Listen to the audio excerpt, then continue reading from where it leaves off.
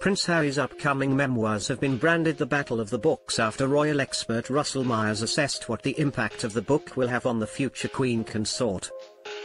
Royal expert Russell Myers appeared on the Australian Breakfast Show today to discuss the comments made by a friend of Prince Harry that his looming book will shake the monarchy to the core.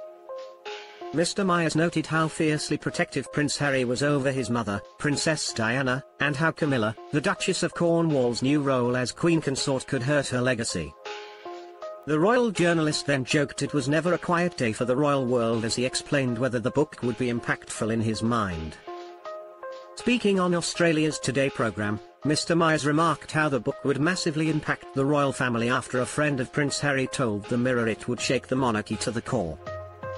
Mr. Myers said, well it's the battle of the books, isn't it?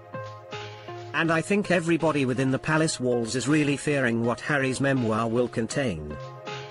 One of the major sorts of plot twists in this is that frenzy according to those close to Harry who has been saying over the weekend that he will lay bare the truth of his relationship with Camilla.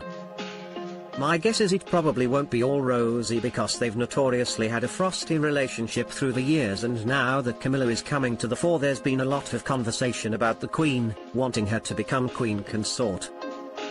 And then you know, Harry is very fiercely protective of his own mother's legacy. So it's going to be a very, very interesting year. It's never a quiet day in the royal family and this isn't going to be any different.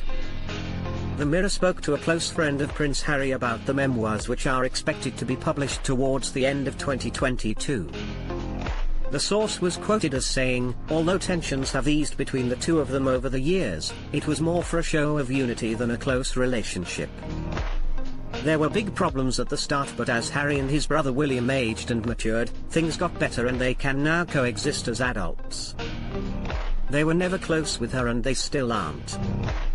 The friend then dived into the relationship between Prince Harry and Camilla after she entered his life following his mother's death. They added, he has got lots to say about it. People think he's keeping a low profile to respect the family but it's not that. He's writing a book. He's got a multi-million pound book deal and he's keeping a lot of his opinions for that. The memoir deal states that it should include personal details of personal and family arrangements.